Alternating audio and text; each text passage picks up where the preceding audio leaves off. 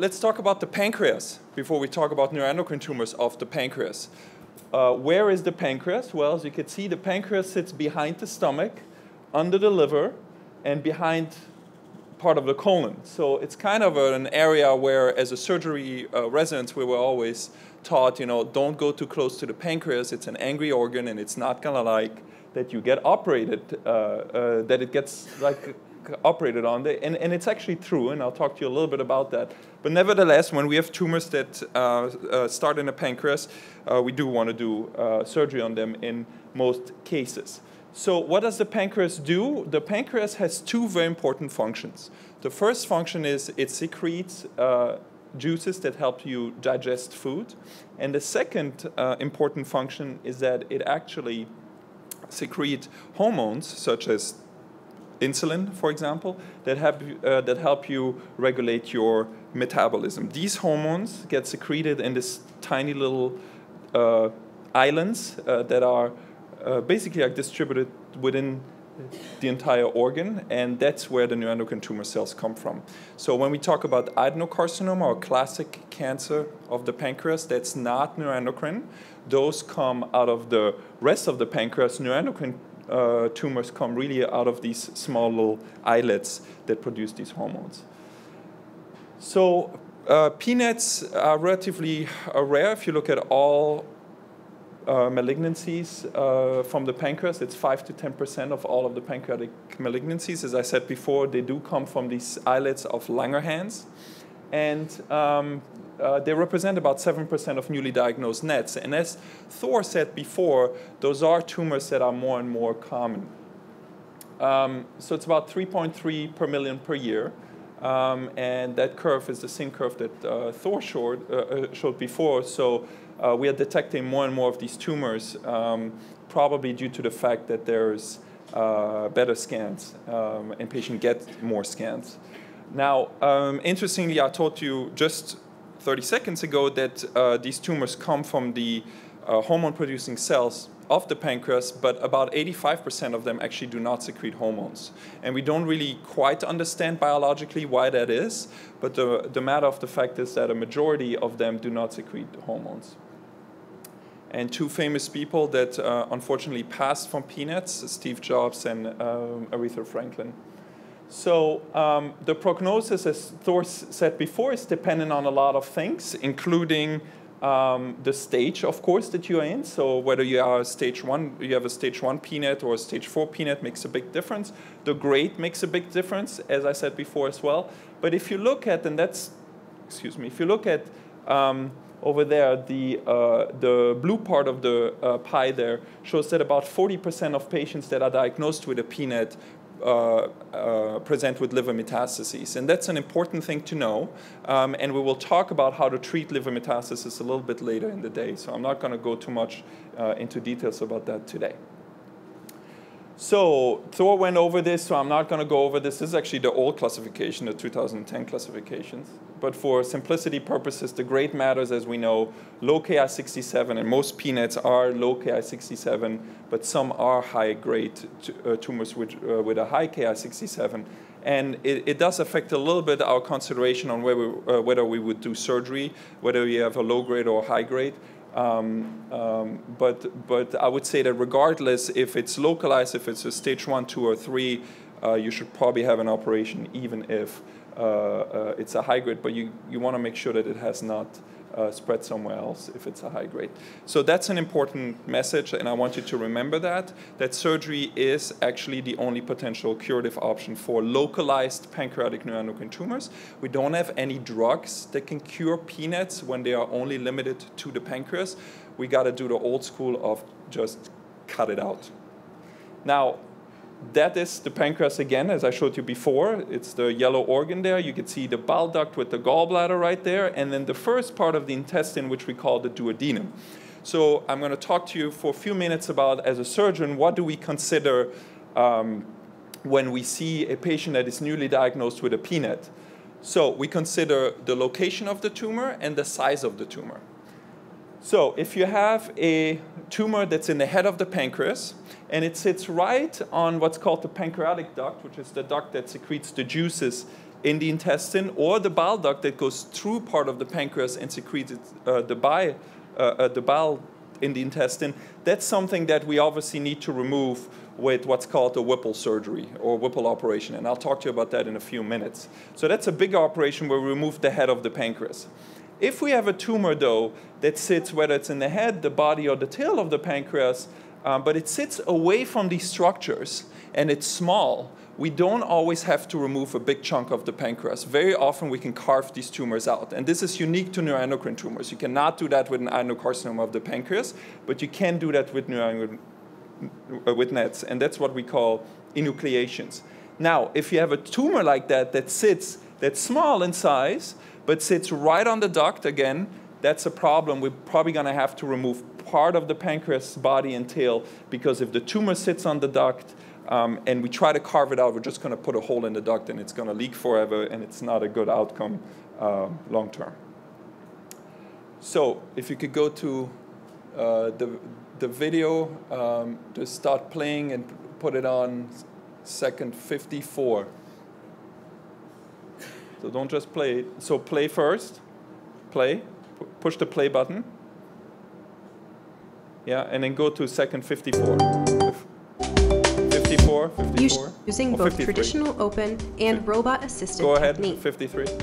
Disciplinary te- we actually try to practice. To determine if the Whipple is right for there them. There we go. So let, let it be. During right. the procedure, so the surgical team removes the head of the pancreas. Then they remove the first portion of the small intestine, or duodenum, gallbladder, part of the bile duct, and nearby lymph nodes.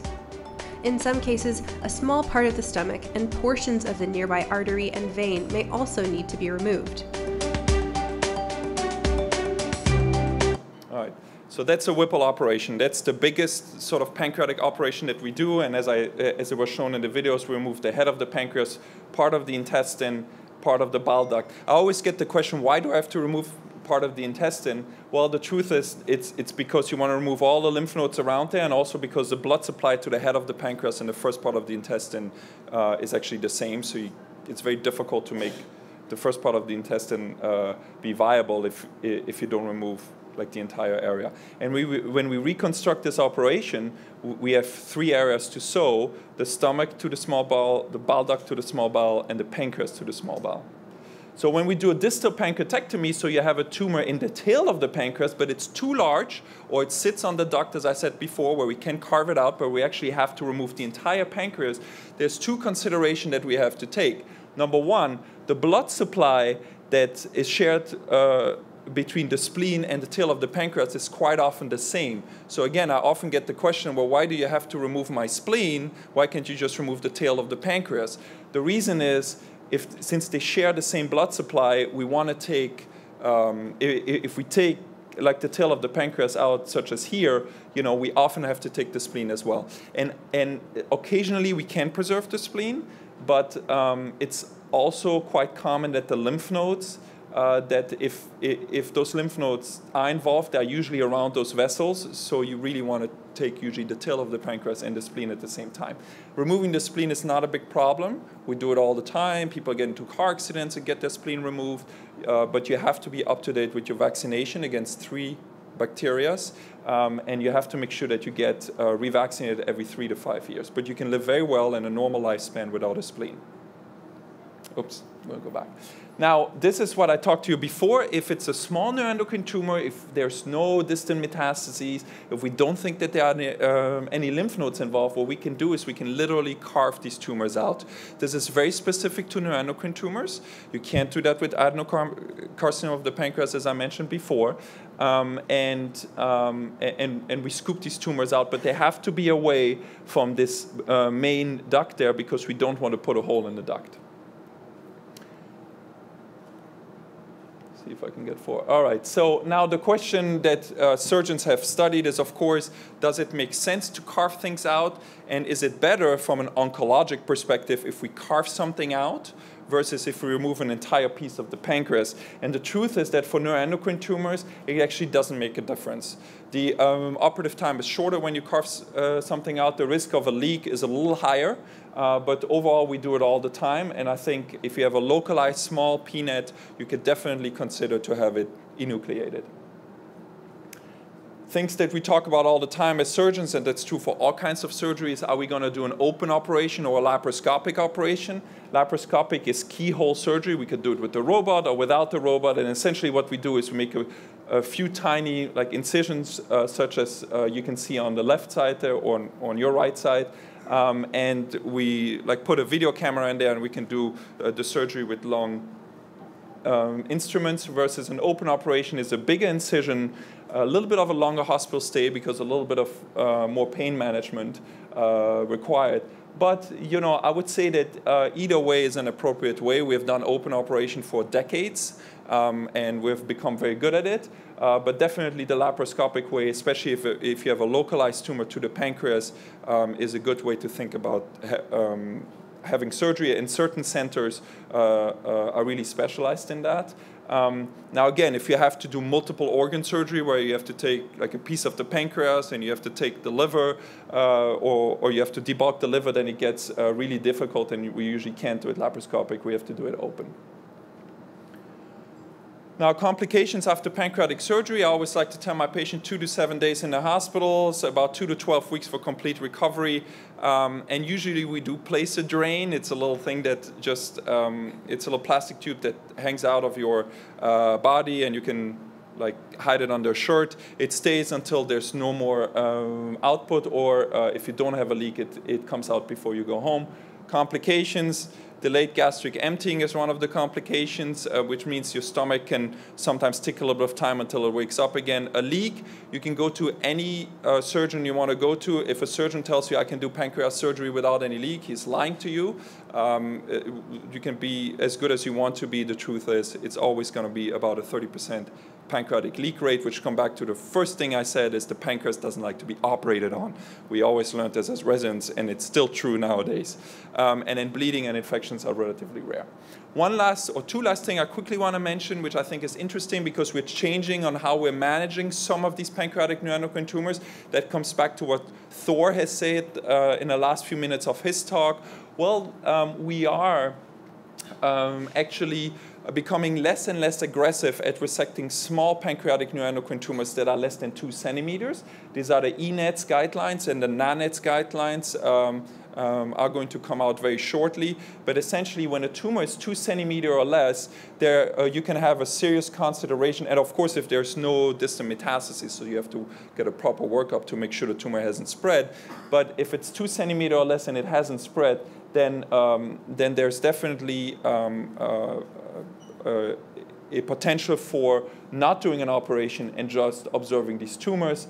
Um, I give you an example here. This is a CT scan, and you see this tiny little tumor, 1.4 centimeters. It sits right in the head of the pancreas. Sure, we could carve it out, no question, but any surgery has risks, and sometimes we don't have to be super aggressive with these tumors as long as they are well differentiated and they are small. So, what we do with those tumors is we follow them over time, and many studies have shown that uh, most patients actually uh, do not experience a growth in these tumors, depending on what studies you believe in. It's anywhere from 0 to 50%, but the truth is probably around 20 to 25% of patients will experience growth over time, and the other ones won't. And so, not everybody has to um, undergo surgery if they have a small localized pancreatic neuroendocrine tumor. And it's non functioning, I have to add that on. So, meaning if it's not secreting hormones, usually if it's uh, secreting hormones, we actually do want to remove it. And then lastly, one, uh, too few last slides, is, is there a role to resect the pancreatic neuroendocrine tumor uh, primary when there are distant metastases or liver metastases that we can't surgically remove? Does that make sense? And that's a controversial subject uh, when, when we talk about, um, about the medical versus surgical community and like expertise. But there has been some data suggesting that um, here, for example, uh, looking at um, about 6,000 patients, of which uh, roughly 500 had surgery, that those patients actually do live longer if you resect the primary tumor, even if you can't take out the liver metastases. And this is another um, um, another slide showing the same thing. So that's some uh, food for thought. So um, that's my talk about pancreatic neuroendocrine tumors and surgery. I'm going to um, introduce uh, Jim Howe, who is a professor of surgery at the University of Iowa. Um, he did his uh, residency um, and his, uh, uh, no, I'm sorry, his residency at WashU and his uh, fellowship at uh, Memorial Sloan Kettering. He's obviously very well known in the neuroendocrine tumor community. He's one of my mentors, and I'm very happy that he's here today to talk to us about small bowel neuroendocrine tumors. Thank you for coming, Jim. All right, thank you very much, uh, Xavier. That was a great talk on pancreas and Thor. I really enjoyed your picture of the bear for a high-grade neuroendocrine tumor. It was Nice. Okay, so right now we're going to talk about small bowel neuroendocrine tumors. And uh, as you've seen already, the incidence of these tumors has increased significantly over the last three decades. In uh, 1973, there were about two cases per million, and that, now it's up to about 12 cases per million. And we don't really know why this is happening. Um, probably one of the, the most uh, common reasons is that people are getting a lot of CAT scans done for a variety of reasons. You come into the emergency room, you get a CAT scan if you have any abdominal pain, and that's how uh, a lot of people are presenting. So that's probably the biggest explanation, but there may be other things in the environment that are causing this too, that, but we don't really know what they are. I personally think it has to do with cell phones and uh, the internet going through our bodies, but there's no evidence, so it's speculation. Um, so with peop people with small bowel neuroendocrine tumors generally present 29% uh, of the time with localized disease. What that means it's in the small bowel only and not in lymph nodes. 41% um, have uh, lymph node metastases, referred to as regional disease, and then about 30% have distant disease. And this is based on a national database called SEER. Now, people who see a lot of these tumors, and uh, like Dr. Keutgen and myself, will will see a slightly skewed population at the University of Iowa, the patients I see, 85% of them have positive lymph nodes and 70 to 80% have liver metastases. And that's probably because the earlier tumors are being taken care of at community hospitals and we're seeing the ones that are more advanced. Um, now, as far as how people do with these tumors, they do pretty well. Um, some people, as, as you know, have called neuroendocrine tumors uh, cancer in slow motion. I don't think that's exactly true, but people live a long time with these tumors relative to a lot of other cancers. So if your disease is localized, the median survival, what that means is half the people live more and half the people live less than that, uh, and that number would be 170 months from, again, a national database. If your regional lymph nodes are involved, then the survival is about 145 months, which is quite a while. And then if you have liver or distant metastases, it decreases to 70 months. Um, and again, that's just a median. Again, half of the people are living longer and half the people are living shorter. But for metastatic disease to the liver, that's a long time relative to, say, pancreas cancer, adenocarcinoma that uh, Xavier was talking about, or even colon cancer or, or gastric cancer. Now, small bowel primaries are the most common GI site of neuroendocrine tumors, and the incidence, as we said, is about 12 per million. And about half of these are multicentric. What that means is there's more than one tumor in the small intestine. And we'll talk a little bit more about that later. Um, they tend to be well differentiated, and Thor kind of gave you that. I don't remember what the first animal was, whether that was a sloth, and then the second was a grizzly bear. So most of them are sloths, I guess. Uh, and even though they are sloth like, they often present with metastatic disease. They, that's what we mean by presenting late. You know, you've had a lot of disease develop before you go to the emergency room with that abdominal pain. You get a CT scan that shows liver metastases or mesenteric metastases. Now, uh, as was mentioned earlier, some patients will show up with carcinoid syndrome, and that's because these tumors make vasoactive amines, and those are things like serotonin or histamine, bradykinin, and these cause symptoms of flushing in about 94% of patients, uh, diarrhea in about three quarters of patients, valvular disease, this is a little overestimated. I would say it's closer to 10%, and then some people get asthma type symptoms. And these symptoms will usually only happen in people who have disease that spread to the liver. Uh, there are some exceptions to that, but the reason for that is that if you have a small bowel tumor or lymph nodes that are making these substances, when those substances get to the liver, it'll uh, break them down and you won't get the symptoms. But when the, there are tumors in the liver, they will secrete these substances directly into the bloodstream and they won't be broken down. And that's what leads to this syndrome. And as Thor mentioned, there are the five E's that bring this out. You can, uh, it can happen uh, by eating, epinephrine or adrenaline release, emotion, ethanol or having a glass of wine is a good way to test if somebody has flushing. Uh, and finally, exercise. So, some people who have carcinoid syndrome, these things will bring it about. Now, the workup for patients with this, uh, with uh, small bowel neuroendocrine tumors, usually begins with a careful history and physical. And on the history, we're asking questions about bowel function. Do you have diarrhea? Do you have flushing? Do you have abdominal cramps or pain? Uh, have you had a history of jaundice? Um, uh, and then uh, on physical exam, we're looking for signs of bowel distension, an enlarged liver, flushing on the face, uh, and signs of uh, right-sided heart failure. We'll do certain blood tests, and Thor mentioned that none of them were very good. We tend to follow these as a trend, and, and again, with a grain of salt, because there are things that will throw these blood tests off, but we follow the chromogranin, serotonin, and pancreastatin, a lot of other places follow 5-HIAA levels, either in the urine or the plasma, and those are uh, generally what we, we use. Imaging, you know, the single most valuable test for us is a CAT scan that shows the small bowel fairly well, although most lesions will not be detected because they're very small. But nearby, you'll often see enlarged lymph nodes that are evident on CT scan. And then if patients have liver metastases, we can see those as well. Um, an MRI is a little bit better if you want to characterize what's going on in the liver. And if you really want to see the whole body, getting a DOTA PET scan is a great way to see the whole body.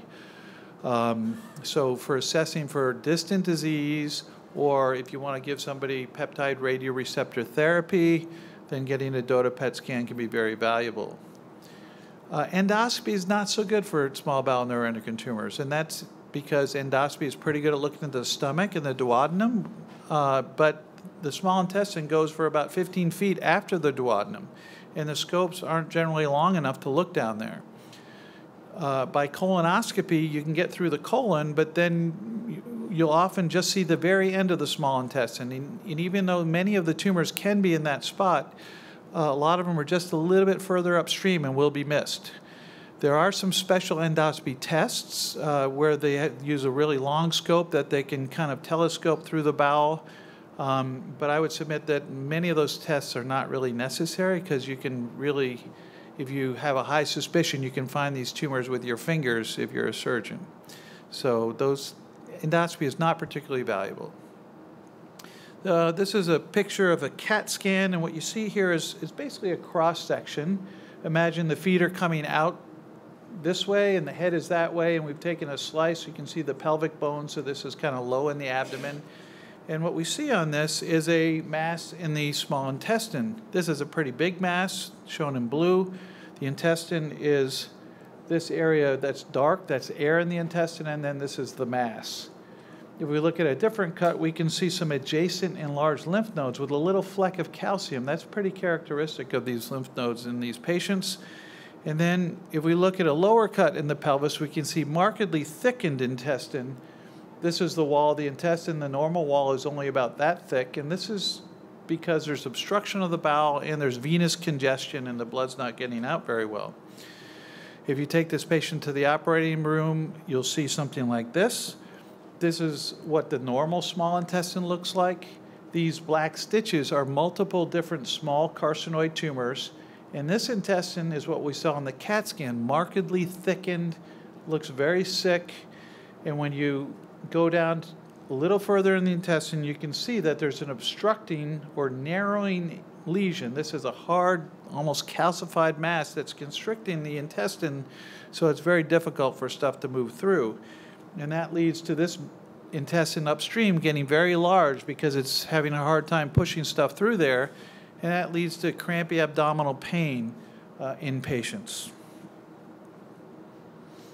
So the tumors usually start in the wall of the small intestine, and the next place they go is up the regional lymphatics.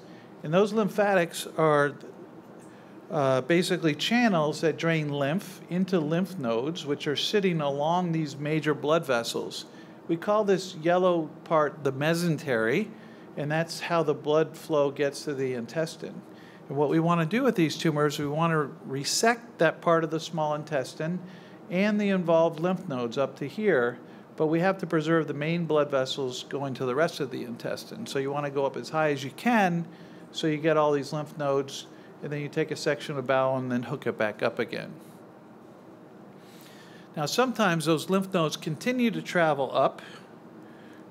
So those, what I'm talking about is they can travel up here and completely surround the main artery and vein leading down to the intestine. And this is a CAT scan picture of just that situation where the superior mesenteric vein, shown here, and the superior mesenteric artery, shown here, are completely encased by a bunch of lymph nodes here. And that's a very difficult situation because these really important arteries and veins are running through a very big calcified mass that's fibrotic and very difficult to remove. And sometimes these cannot really safely be removed. Fortunately, people can live a long time even with that, but sometimes it'll lead to clotting of the vein that goes up to the liver.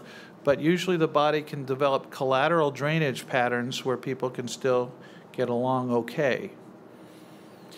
Um, so when we do an operation, what we start with is an incision in the abdomen, and this incision is often in the midline, and it can be very small or it can be very long, depending about whether we have to do surgery on the liver or if they have peritoneal metastases, which are little spots of tumor all around the abdomen, then we often have to go down to the pelvis as well, and that might require a long incision.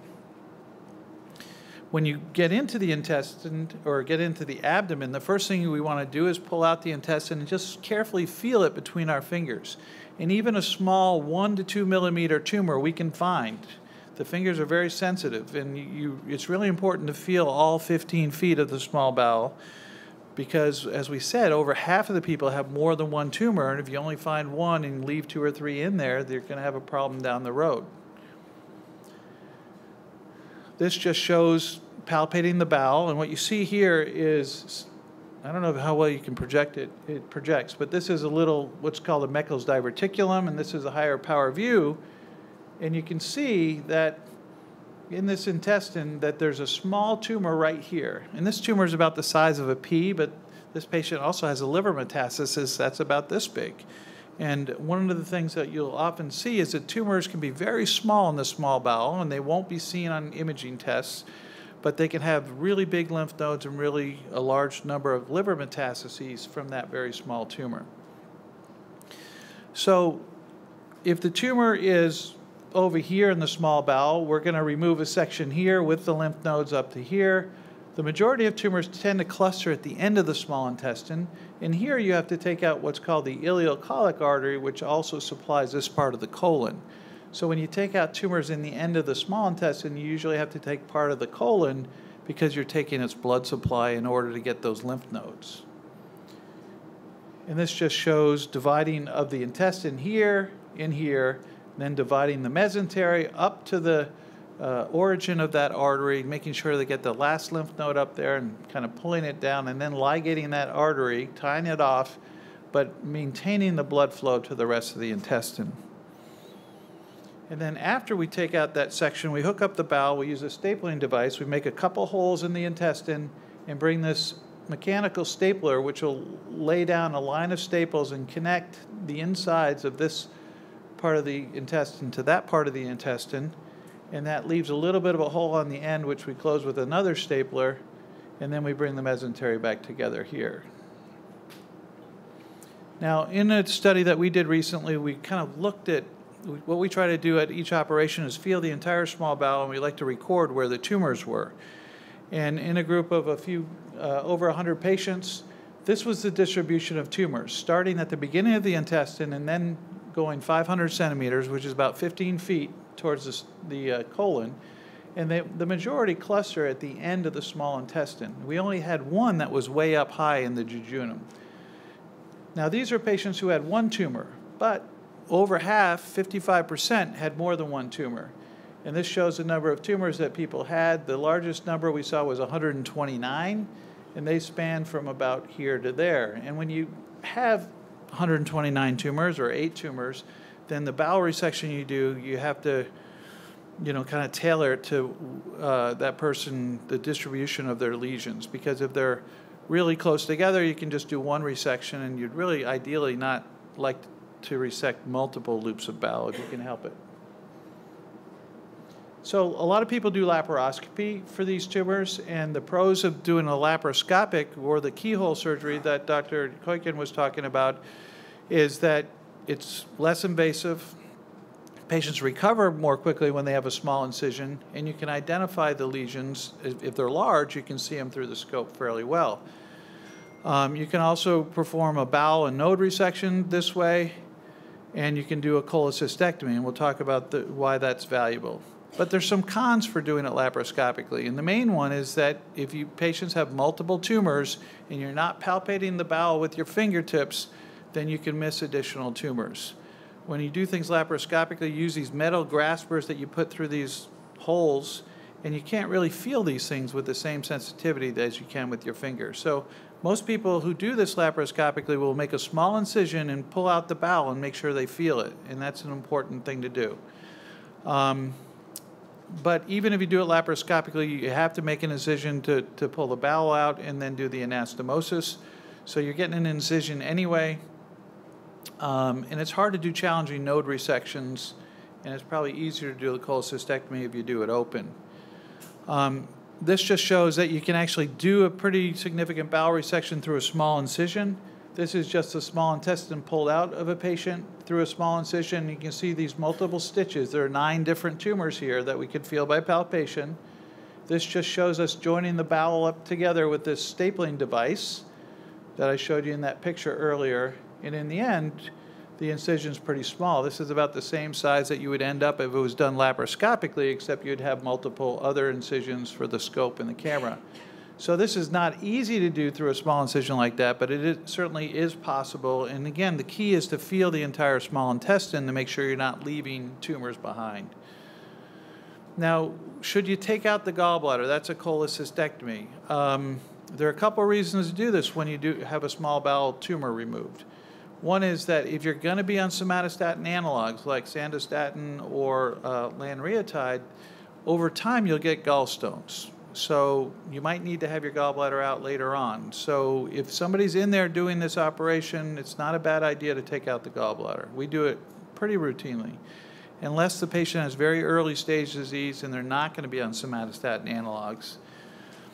Second, if somebody has liver metastases and they have embolization of the liver, then sometimes the little particles used for embolization can block off the artery going to the gallbladder and it can die. But in a study from Sweden, when they looked at patients who didn't have their gallbladder removed, only about a quarter of them actually had to have a second operation. So it's not absolutely necessary, but we do it routinely in patients with advanced disease. Uh, the overall survival of our patients is uh, in a study from about five or six years ago is shown in blue, uh, and we had a five-year survival about 79%. The 10-year survival was about 57%, and the median survival was not reached in this group, whereas in the national database it's about 88 months. But their patient population only had 34% of people that had liver metastases, while we had liver metastases seen in 81% of our patients, so a very uh, higher stage group. So um, that's sort of uh, uh, our institutional numbers. So our approach to small bowel neuroendocrine tumors is to take out the primary tumor in the intestine, make sure you try to get the regional lymph nodes, debulk peritoneal lesions if they're present, and we're not going to spend a lot of time on that, but a lot of people who have tumors that invade all the way through the small bowel wall will spit off cells that will later grow elsewhere in the abdominal cavity. And even though it's very difficult to remove these in their entirety, trying to remove the bulk of these would be helpful. Uh, we like to remove the gallbladder, and Dr. Keutgen will later talk about cytoreduction of liver tumors. We'll do that as well when, when it's feasible.